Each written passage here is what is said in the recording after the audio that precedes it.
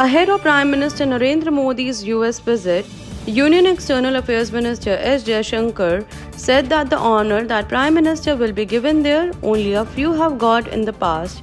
Speaking to the media while traveling in a bus, Jaishankar said the Prime Minister will be on state visit to the US.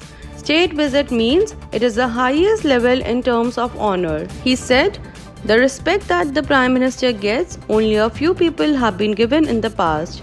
The minister asserted that in an unprecedented move, an Indian Prime Minister will address the US Congress for the second time.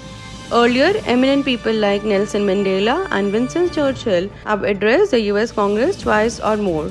That is the reason why its importance is so huge.